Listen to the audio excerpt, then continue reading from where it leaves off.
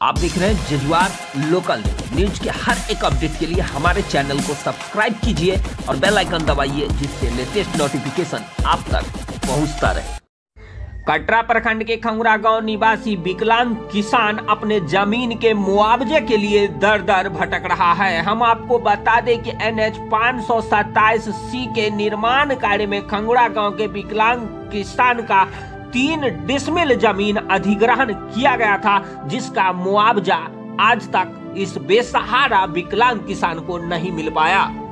आखिर में विकलांग किसान ने मुआवजा के राशि के प्राप्ति के लिए मुजफ्फरपुर के डीएम जिला अधिकारी के आलोक रंजन घोष के कार्यालय पहुँच गए और वहाँ पे उन्होंने जिला अधिकारी से मुआवजा का मांग किया। विकलांग किसान ने बताया कि मुआवजा के मांग के लिए महीना भर से कार्यालय का चक्कर लगा रहे हैं, लेकिन उसके बाद भी मुआवजा की राशि की कोई उम्मीद नहीं दिख रही है।